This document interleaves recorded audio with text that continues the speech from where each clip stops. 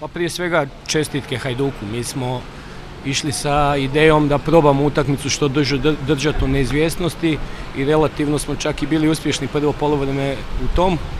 Iako malo smo tu imali određenih taktičkih problema gdje ja apsolutno moram preuzeti odgovornost e, na sebe jer smo išli u nekakve taktičke izmjene za koje nismo možda imali dovoljno vremena za uvježbavanje svega 3-4 treninga, ali opet smo uspjeli izdržati to polovreme, nažalost jedna dobra akcija početkom e, drugog poluvremena je otvorila e, rezultat na stranu Hajduka. Nakon toga smo mi po meni jako dobro reagirali, imali i dosta nekakvih situacija koje su mirisale na nešto, no na kraju ni jedna nije rezultirala nekakvom konkretnom kvalitetnom šansom i kad se podvuče crta apsolutno zaslužena pobjeda Hajduka koji je treba biti e, realan, dominirao većim dijelom utakmice i na kraju zasluženo pobjedio. Još jednom im ja čestitam na pobjedi kao i svojim momcima na trudu koji su dali ovoj utakmici. Za nas e, izuzetno bitna utakmica, onakva kakvu smo i očekivali, protivnik zatvoren. E, generalno sam zadovoljan sa, sa, sa učinjenim,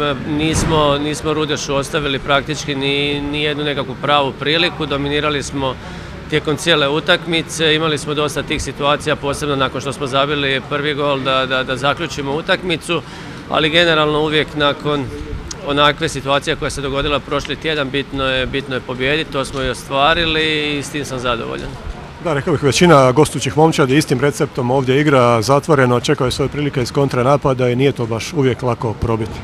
Sigurno da nije lako, a na nama je da jednostavno radimo na tome, da, da, da nađemo prave, pravi način, e, pravu ideju kako, kako rješavati utakmice protiv toliko zatvorenih protivnika.